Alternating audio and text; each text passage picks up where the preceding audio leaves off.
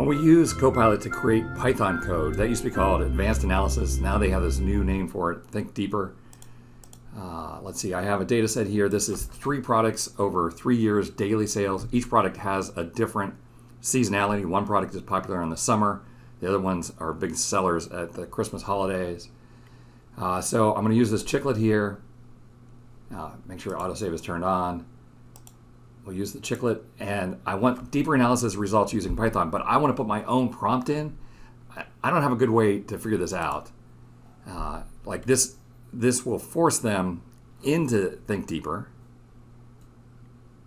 Right? Start start with Think Deeper. So I'm going to say start with Think Deeper, but then I'm going to immediately ask it to stop as soon as I get the new table with the data frame. I'm going to click stop. All right, so that's great. We have the data frame. And now I'm in Think Deeper, and I'm going to use my own prompt.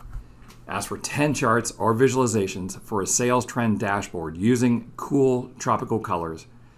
Show how the seasonality is different for each of the, th the three products. We're in Think Deeper, and I'm going to click Send. All right, and they create a plan. They're going to do some pre-processing and data preparation, and then they have a list of the 10 charts that they're going to do.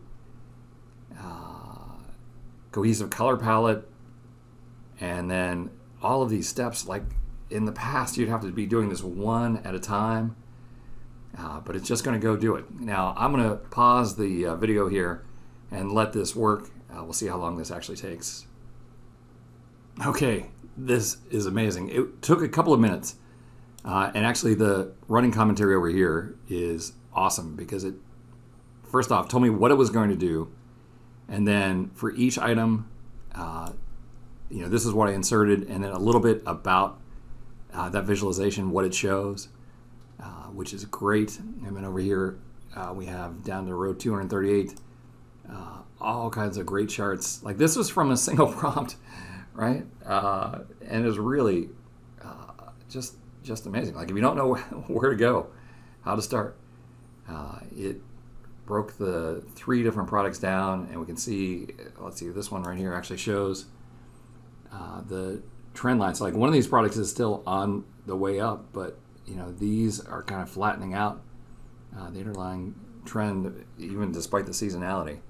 Uh, you can see like this product here is the one that's uh, seasonal in the summer, and the other two products kind of follow the holiday trend.